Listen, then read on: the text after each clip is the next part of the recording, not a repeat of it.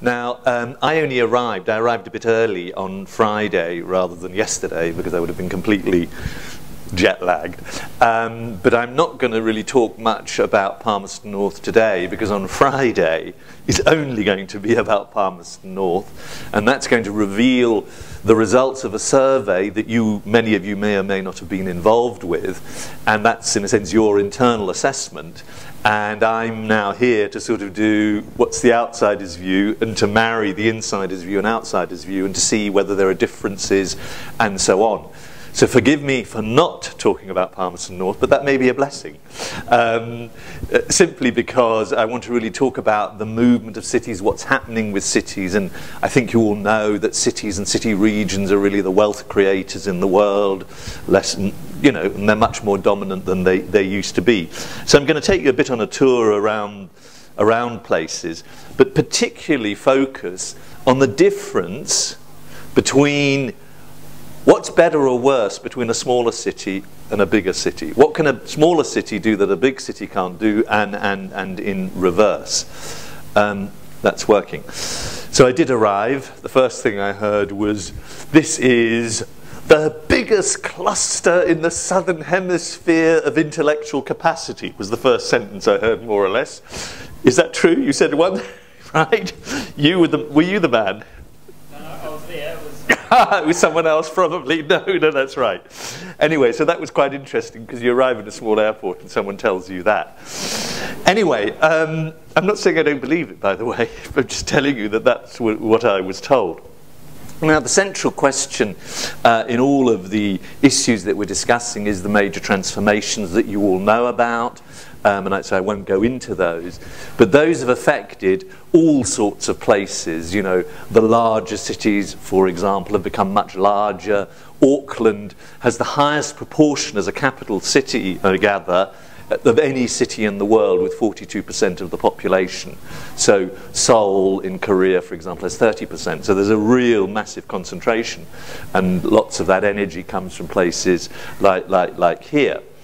The other thing about that massive change, of course, is the world is a smaller place. I mean, just looking around here, there are lots of people who look as if they probably came from somewhere else a while back, I don't know, or recently. And that mass movement of people, of course, has had a major effect on, on what cities feel like. And clearly, you having a university uh, exacerbates that, obviously, because lots of people come from abroad. And that then has, in turn, a sort of effect on the identity of places. People who've been here forever might say, what's this stuff going on, and so on. And that's what really the Intercultural City book was about. And, you know, in some places, the Intercultural City Book did a study, in fact, of Auckland and what happened when all those population mixes uh, occurred, what was good, bad, and so, so on about it. I'm only raising that because you are a refugee settlement place. That obviously has implications now and in time. The other thing, as we all know, is the sort of here-there phenomenon. And as I arrived Friday morning in Auckland at the airport waiting for my flight, you can see there they are all hooked up, uh, all four of them. I just had to quickly do that before they suddenly started closing their computers. But anyway, you get the drift of what all that's about. I don't need to elaborate that. But what that also means is there's all sorts of virtual connections, and people might say, well, does place matter? When we can be zooming around in space? Well, in fact, all the work research shows that the more we can do that, the more place matters, the more we want to have somewhere to anchor. in third spaces, a third space is obviously a place like the library, which is not home, not work, and, and, and so on. And all of this is quite unsettling for, for, for, many people, and lots of people sort of really discuss that we're moving from a situation where we're, we used to plan very much about cities in a predict and provide model. We need 1,600 meters of tarmac this year. Let's do it. You know, off we go, very clear cut. And that is rather simple to do, I think, relatively speaking. But planning for people who are moving around in the way I've just described is a completely different matter because you're trying to create atmosphere and so on. So in general, you can say that these shifts make places feel, in general, quite fragile uh, in general, which means that we've also got to be alert about what is going on. And some people say, talking about Edinburgh, this is a shop in Edinburgh called The Paradigm Shift. Some people say that requires a paradigm shift in thinking about cities and places, that there's an old way of thinking about it and a newer way of thinking about it. And I've discussed that a bit with people I've interviewed over the last few days. And it really puts cities at a crossroads to thinking, how do I respond to this? Do I just say the business as usual approach, the old way we did things, predict and provide, 1,500 metres of tarmac? Will that be enough to make a great city? Now, some people find all these changes that I'm talking about sort of generally quite invigorating and so on, and others think exactly the opposite and are, are, are, slightly defensive about it. Here's a piece of public art in, in, in where is it, in Los Angeles. Anyway, I'm not saying that's like this in Palmerston North, but nevertheless, there are some people who would prefer this not to be the case, these shifts. And, you know, I don't want to talk much about the economy, but we know there's an agrarian economy, industrial economy, and increasingly economies are based on knowledge. I know that you used to call yourself the knowledge city or whatever. But people more now realizing how do you get knowledge? How do you get things that add value in agriculture, in food production, or any of these things, in other spheres, IT? We first need some form of creativity before the knowledge comes and the innovation comes. And because of that recognition, more and more people are talking about this notion of the creative city. Now, many people think that when one uses the word creative, it automatically means only artists, or other people think it might be only scientists, which doesn't mean that both those categories are, of course, incredibly important. But you can see what I'm talking about as a much broader sweep. Now, the problem is that a lot of places are saying that, oh, I don't know, let's say 100, doesn't matter, but a lot, if you look on the internet, there'll be lots of places, Creative Vancouver, Creative this, Creative that. And the question for a place like yours is then to say, well, okay, if everybody's onto this thing, well, what is distinctive and special about us? What makes us different from all the other places? Can you see these images, or shall we? Is, is that okay? Can you see them enough? Okay, good, very clear. Thank you, Mr. Green, or whatever you got there.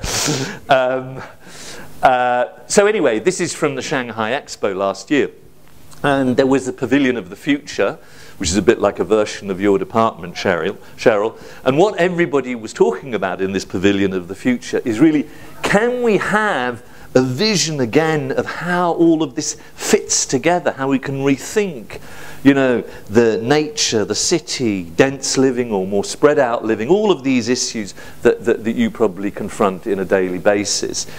And so what I'm really saying is this is an agenda that isn't only just here in New Zealand or on the North Island. So let's look at this a bit more closely. Um, now, one of the big things is this thing about cities competing. Of course, they've always, in a sense, they've competed.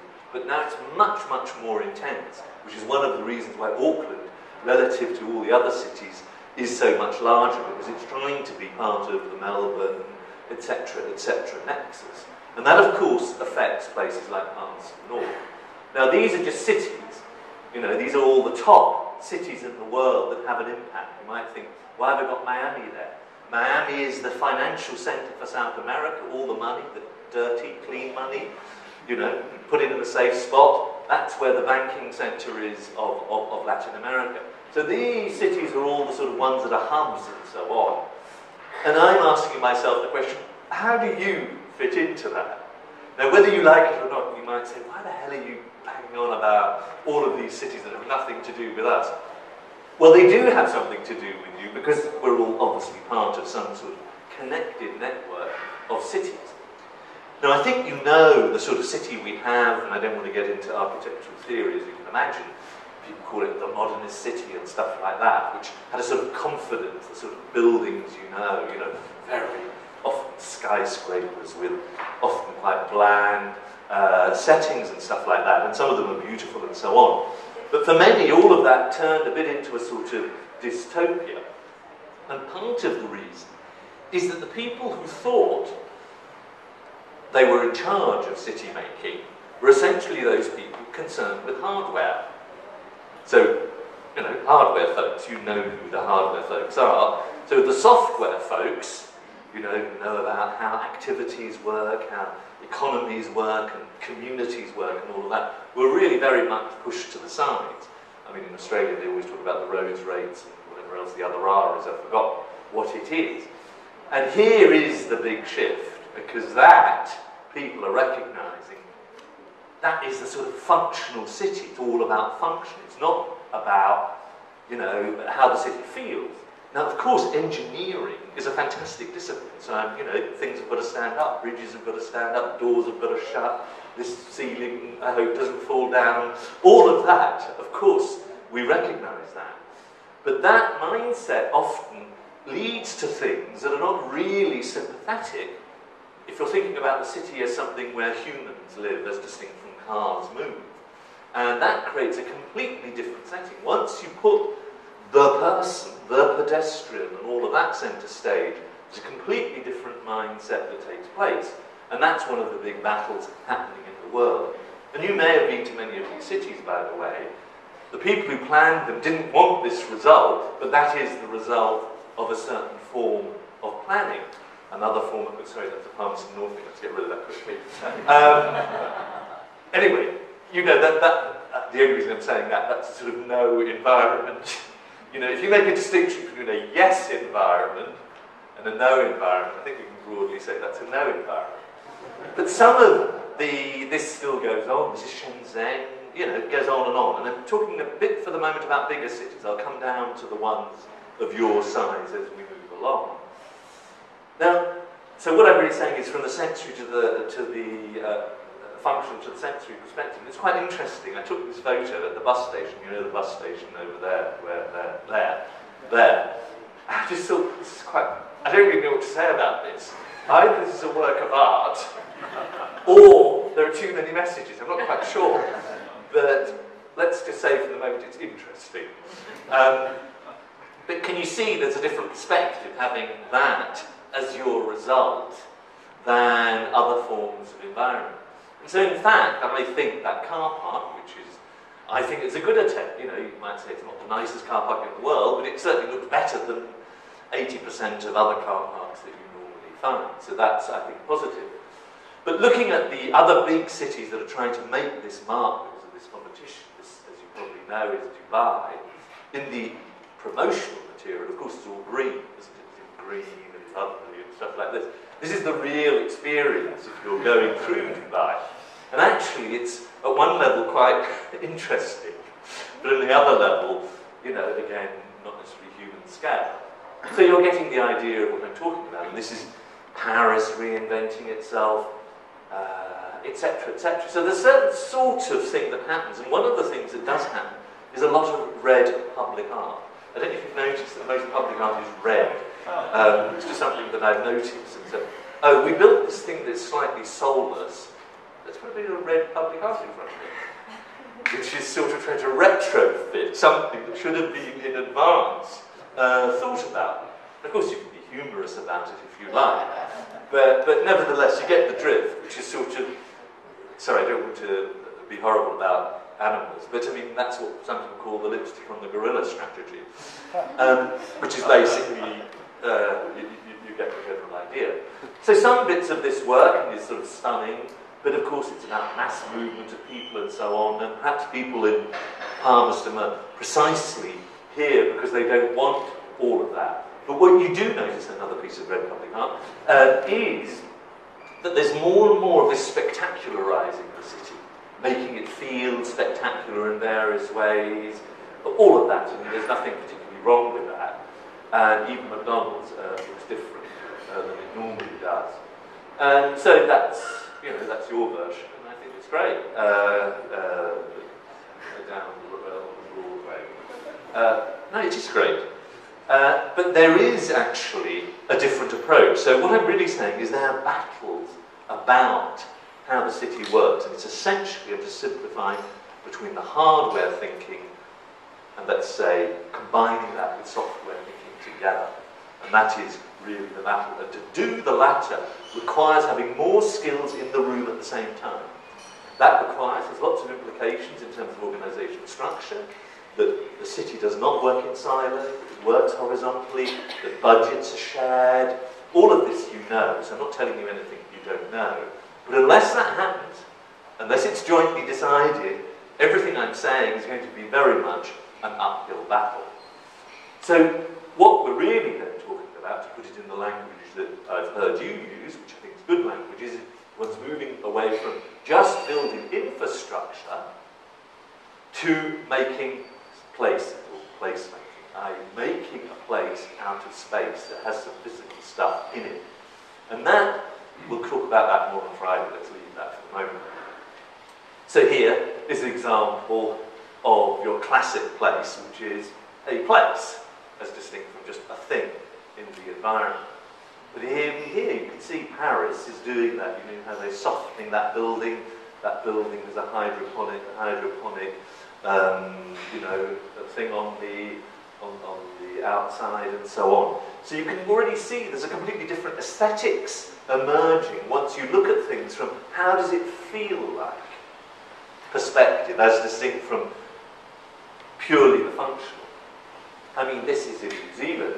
Um, now, a lot of people start their vision about cities by starting about car parking. You never can have a vision for a city if you start with car parking. and you'll be surprised to learn that still too many cities talk a lot about car parking rather than saying where do we want to go. Saying where do we want to go, we'll sort the car parking out later once we know where we want to go.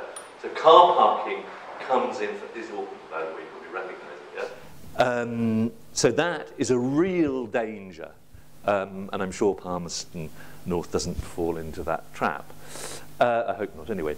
Anyway, now the other thing that is really a driver, apart from that shift I just described, one of the reasons for this shift is this thing about talent.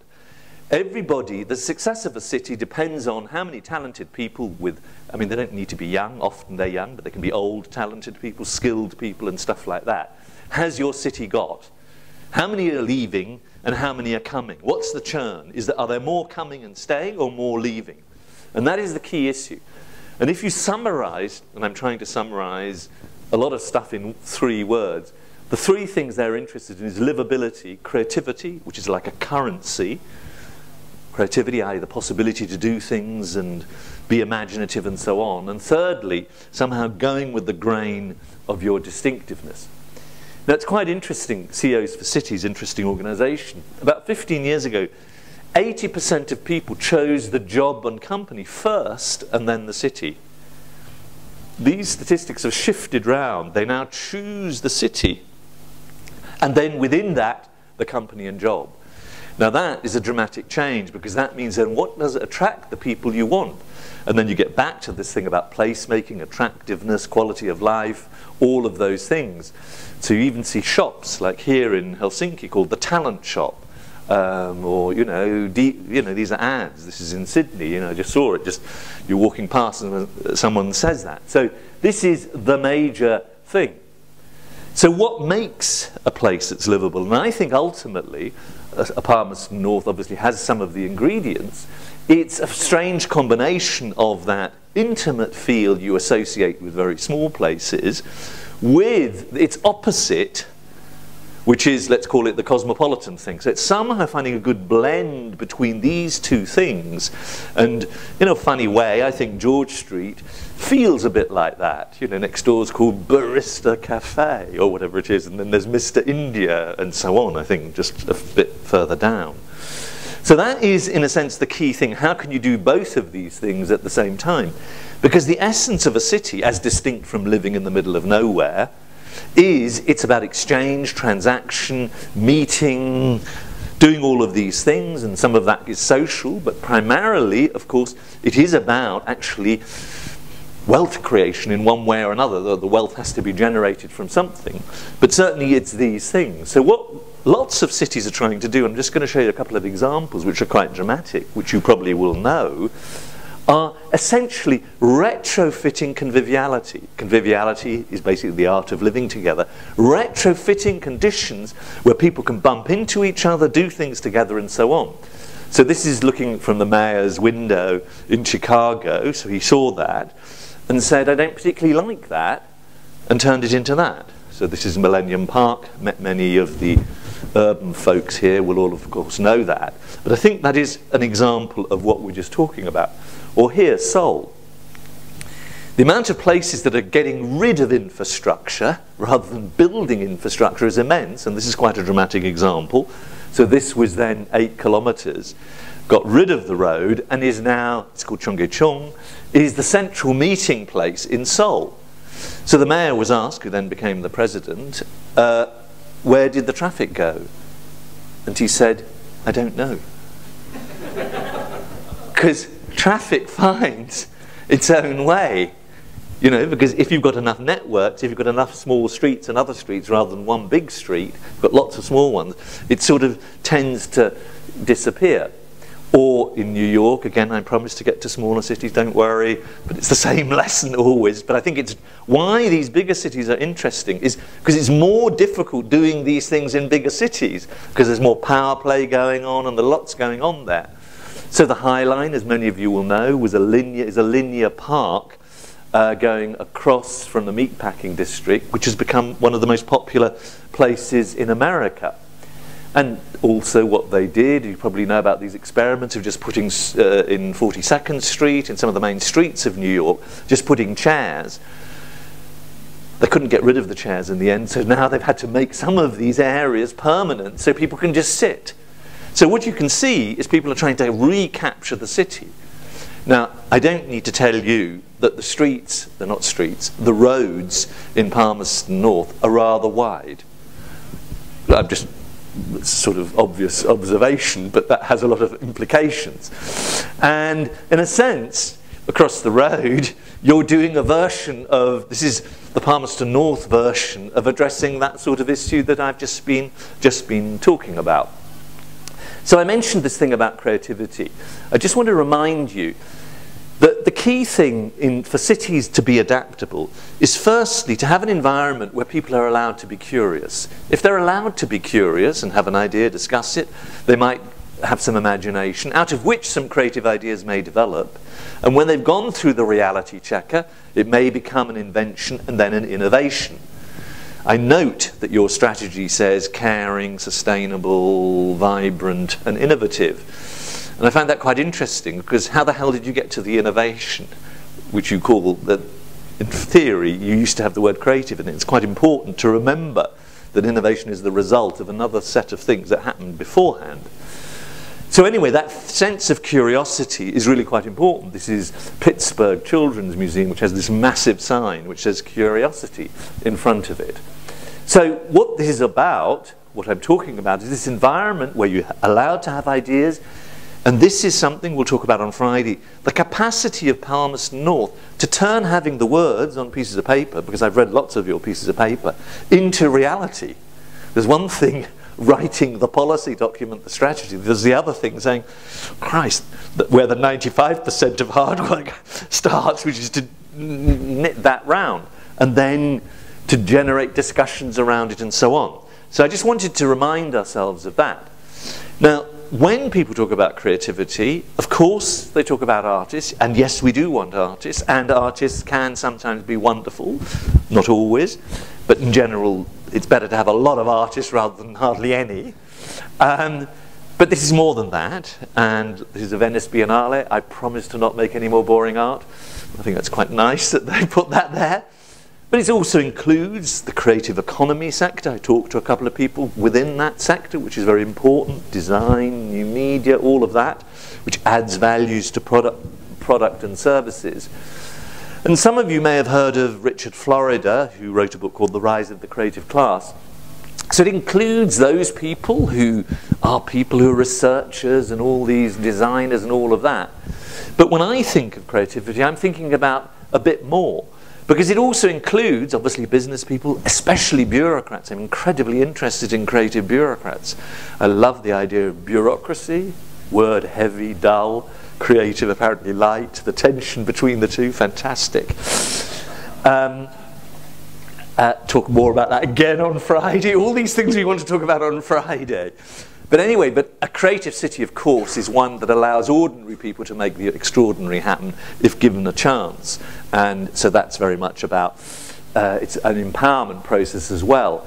And as it says there, it provides the conditions as a city for people to think, plan, and act with imagination, and then therefore to be taken seriously. Because if they're not, like, a, like in biology, if one isn't adapting in that way, one tends to shrivel and, and, and, and decline. And what that often means, and this is one of the big issues about this shift from infrastructure planning to placemaking, is it's absolutely vital to cross boundaries. Your service needs to cross, I mean, you know this already, but I mean, with other services and so on, because only together can, in a sense, the result be achieved. Now, initially, all this stuff that I've been talking about was very much the big cities. And this is now cascaded down into secondary and smaller cities. And so initially it was cities, these are sort of European cities largely, apart from Minneapolis. But these are one, cities we associate at the second level who've done things. Everybody knows about Bilbao, just as an example of its complete regeneration and transformation physically, etc., etc. But what's interesting is there's another group of cities which are smaller, which are the same size as Palmerston North, who were doing incredible things. Now, I happen to have worked in the first three of the, or four of those cities in great detail. And they, I think, in some ways, are more astonishing than those other ones because somehow the problem of smallness is it can become parochial, as we know. But if a few people are facing the same direction, one can, of course, achieve more because you've got less, less people to persuade. And uh, I mean, I'll only I'll highlight a couple of examples about these cities as, as we move on. So what I'm really saying is this creativity agenda is moving down these layers of cities to the layer of city that is you. So I'm looking at you as if you are Palmerston North, but you know what I mean, a city of your size. So that's the Bilbao type city, you know, a million, and then these others are smaller, 100,000 and so on. So what they're doing, these smaller cities, is recreating streets, which is why I keep on saying there's a difference between a road and a street. I know you know the difference, but lots of people seem to think that a road and a street is the same thing. And what makes great cities, of course, is great streets. But this is Freiburg. Freiburg is the green capital of Europe, which the guy, they had a problem with a nuclear plant going to be put there, waste disposal plant. Chernobyl happened at the same time. The council, you can imagine what happened, they then decided to become a solar city, yeah? And this was clearly to do with that crisis. So here's the Opera House saying, in what sort of future do we want to live? And here are a complex of buildings, this is called the Sunship.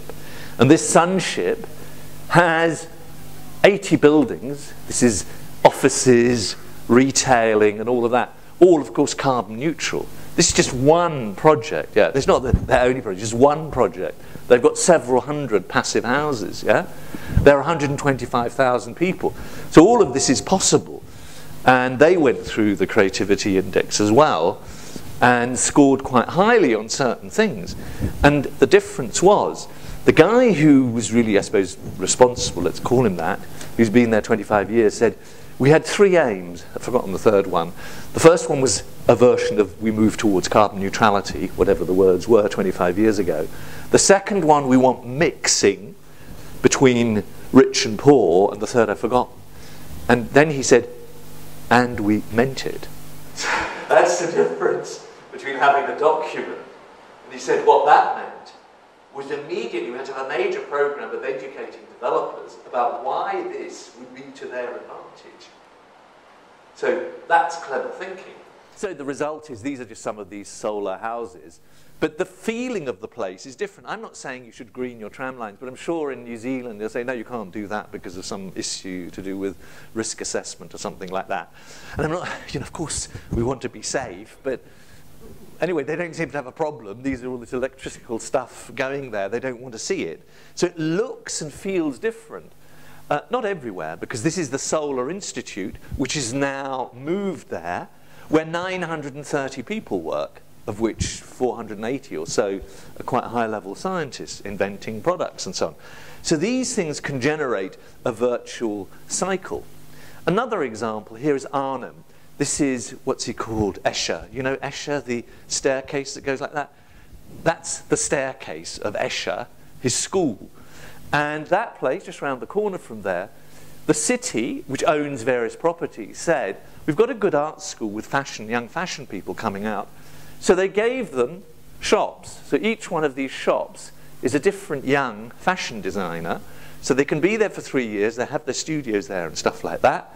That, of course, has led to other things coming in, like music centres. And Arnhem is not exactly the centre of the universe, but it's become, through a simple strategic action, saying we've got these empty shops, let's intervene, having the courage to intervene.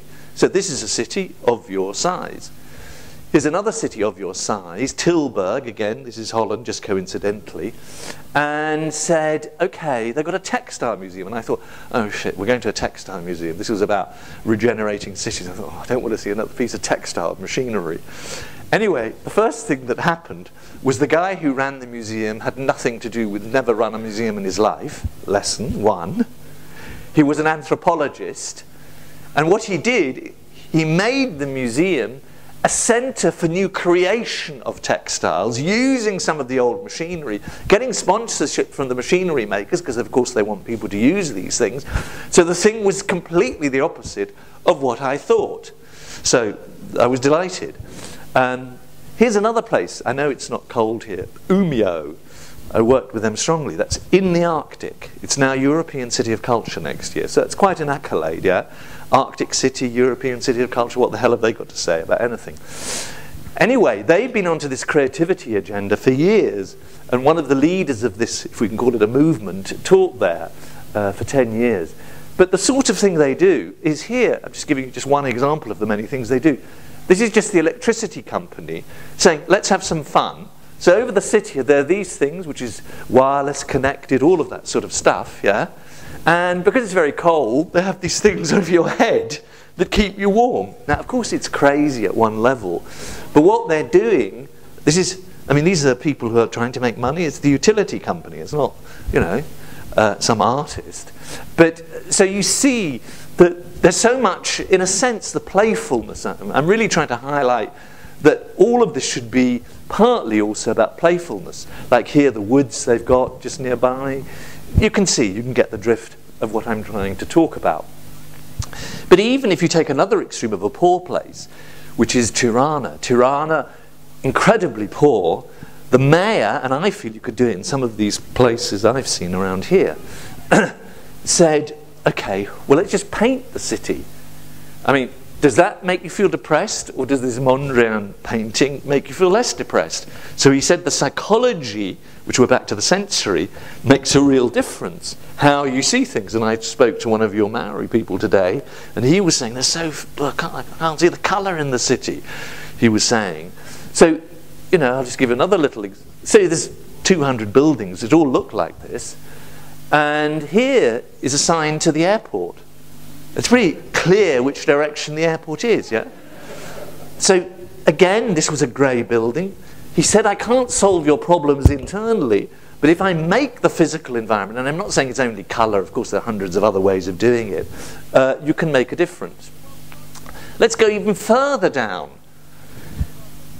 Tiny cities. You probably know about the slow food movement. Well, there's the slow city movement of cities under 50,000.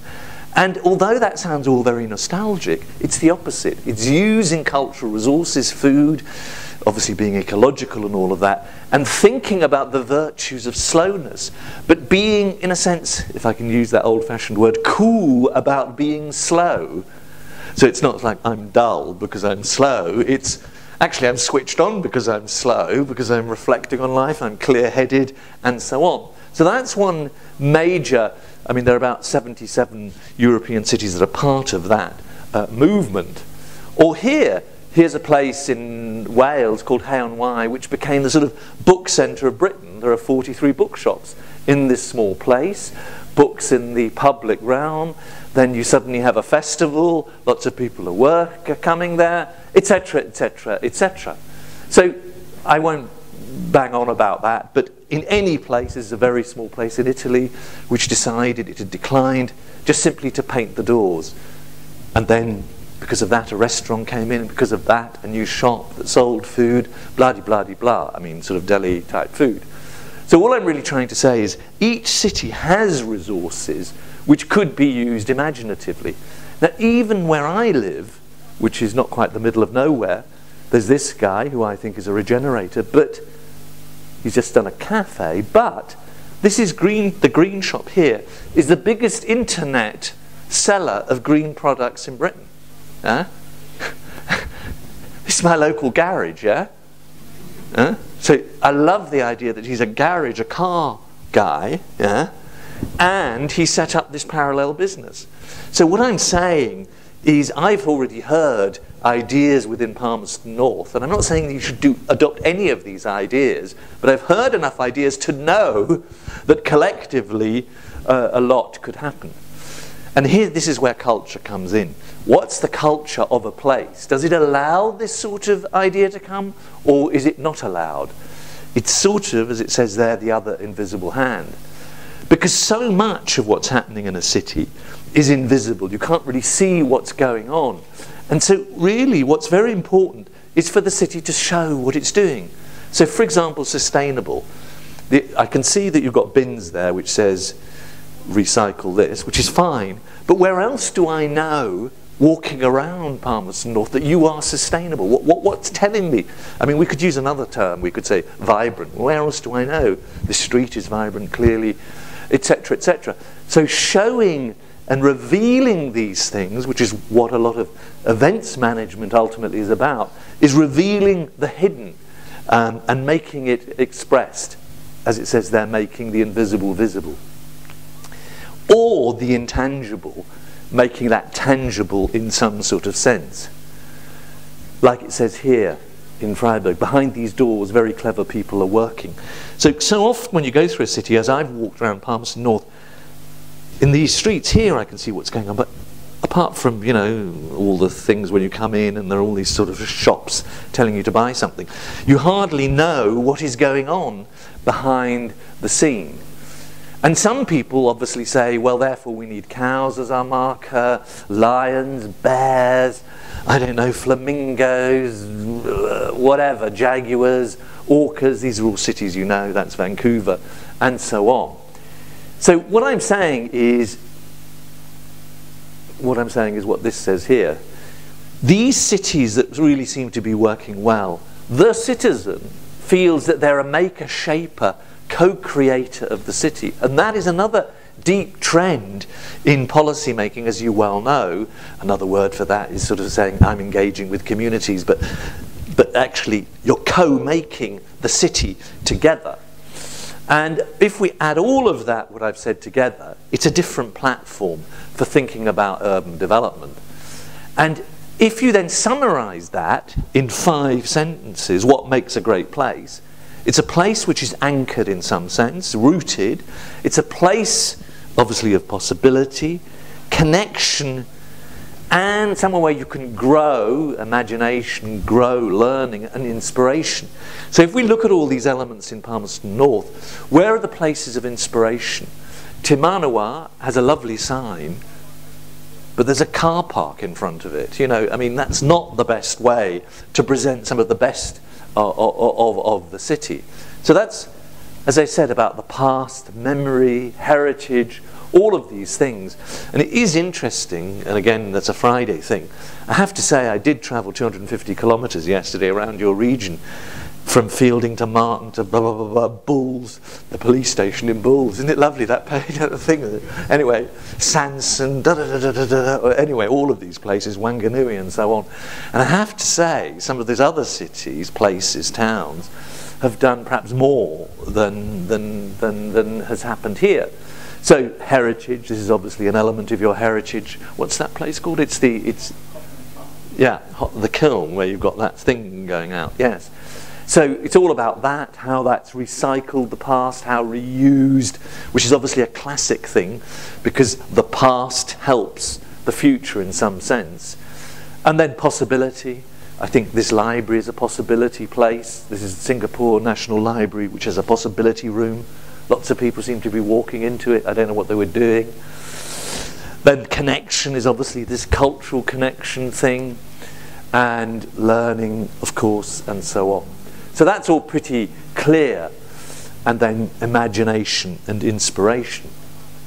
So, what we've really got in summary is yes, I'm going to do 10 more minutes and then we can talk about this.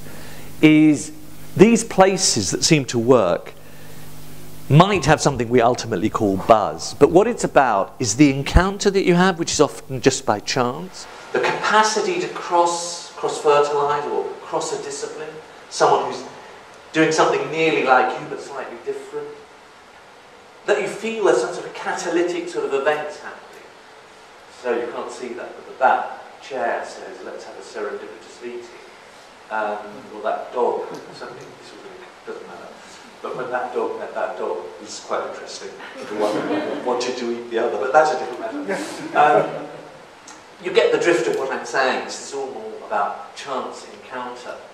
And in a sense, Ideas Festival, because you probably know, I mean, I've worked a lot in Adelaide, uh, they had an Ideas Festival, Brisbane's got one, and there are more and more Ideas Festivals, because people are realizing, unless we gather the conversation, create the conversation, feel safe about the conversation, we talked about conversation the other day, unless you can have the conversation, not much is going to happen. Um, and so on, and so on. And one of the things people told me about Massey this building may be fine, is how do you have a conversation across disciplines in Massey? All these research centres, which are different blocks in places, how do these interesting people communicate, etc., etc. So let's go to this final section. Right. Okay. This is my statement for the day.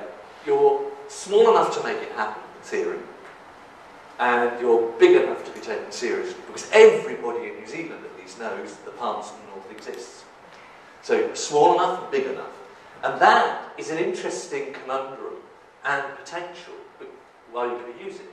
Now don't read the words, because I think I put too many words on here, but broadly, what's easier? Is it easier to be, have leadership, foresight, and all of these things and deliver things in a very big city or in a small city? Well, delivering things in theory is easier in a smaller city because the complexity of big cities, often dysfunctional, is more difficult. Now the question, does one do it? it, is a different issue. Leadership depends. Smaller cities can be a bit enclosing. So that's one thing to look at. Who's better at that? And of different forms of leadership. There's the leadership, sorry, I'm always being anti-car parking. I do think we need car parking. I'm just saying, let's talk about that last. But this is the leadership that talks about car parking first. The more innovative, visionary leadership tries to tell a story of Palmerston North, where young people, this cluster here, older people, whereas older people over there, somehow can jointly agree on some story that, that, that is ideally compelling, that therefore one not quite sings off the same song uh, but at least is aligned. This next thing, okay, who's better? A bigger city, a smaller city? Having critical mass, being a transactional hub. Critical mass is, of course, the big problem for the smaller city. There's never quite enough of it. So I was talking to young people about, well, where can I hear salsa music in Palmerston North? And they were saying, well, da da da da. There's not enough critical mass to have an audience to keep that going, So, But you know about that. Transactional hub where you can transact.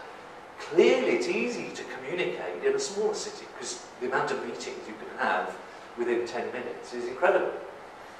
Whether you can future-proof and actually take the risk to be, let's say, the sustainable or the creative city, I leave that open. In theory, I think the smaller city should be able to, from the examples I tried to show earlier. So, then we've got this thing. Is a Palmerston North an appendage to Auckland and Wellington? Or could you be somehow the centre of the universe? And I think actually that's a reasonable ambition. But I know people feel Palmerston North is very comfortable, the danger of being comfortable is complacency and stuff like that. So this may not be what some people want. But in the end, something of that nature needs to happen because there are risks on the horizon that we can talk about again on Friday. So which city is better? I'll only focus on the first one. To move from this urban engineering paradigm, very hardware driven, to what we've been discussing, which is what I'm calling creative city making, which is blending hardware and software. The very big cities have to go that way. They know their competition is so intense, they've got to create environments that are just, from an emotional sense, more satisfactory. I leave it up to you to decide whether parts of the North can do that. So urban engineering, as we said, is a lot about doing things well, like engineering here, but there's some weaknesses. Attracting and keeping talent. Of course, we know you've got Massey and so on and so on. But the reality is, I interviewed quite a few people today and said, have many of your friends left? The generalized message was, I'm sorry to say, and you know this already, was the more ambitious and interesting people of my friends, unfortunately, did leave. So that is, of course, the big threat to Palmerston North, because the question is, who's going to be the next generation of leaders in Palmerston North? Who are they, who are those people going to be? So here are some of your young women, of your young guys, randomly in front of you, Colin. But anyway, it's a question of, are these people going to stay? So that is perhaps one of the major problems, as we know, for, for, for, for a city of this size. But when we talk about talent, I don't want to forget old talent, because we always tend to think that it has to be you know, up to the age of 27 or something like that. Although I think I love you and you're wonderful and all great potential. But unless, given an older population emerging, unless we look at that positively, we won't go anywhere. Creating a rich, deep experience. I think from my talks with the Youth Council and others today, clearly the bigger city has an advantage, can be dysfunctional. Again, you know all of this. But I think I'm saying enough things about the smaller city where the smaller city can do better for you not to think, oh, it's just all about big cities. So that very much, this experience thing, is absolutely key. What does it feel like walking down George Street as contrast to Fitzherbert Street? So one of the things, then, being bold. Now the interesting thing, I'm going to pick up being bold, some of the things that you've achieved in the past, and I know people say you're slightly risk averse, were actually quite risky. I mean, when you decided to have the university, that was risky. And you got the university. Obviously, the whole square thing was risky. So nobody's saying you should do a Dubai. But what is happening is the way infrastructure is seen I mean, this is just, you can see it's also slightly, I mean, you might think this is too minimalist because it is Scandinavian, it doesn't matter. But the point is, it actually feels quite nice when you're in this place as part of an airport corridor. But I find that the cities people say they love when you interview you can't build them. Because developers have land banks, they want to do their own thing because rules often don't help you do these things and so on. So it's absolutely, in Britain, for example, often impossible, even though people say they want certain things, which is this sort of softer, urban charm type stuff that we're talking about in George Street, that there are obstacles in doing that, which are to do with rules and regulations often, which in fact, of course, I'm arguing you can reverse. So it is about rethinking the rules and, you know, getting out of the box. Interesting conference I went to, you had to wear those things just to see if you could get out of the box. After about 10 minutes, you certainly want to get out of the box. Um, actually, I think I've got to stop there. Because if you're in the box, you only always have a partial view. And I think I've talked enough. And that's it. Let's keep to the box. Yeah, that's it. Thank you very much.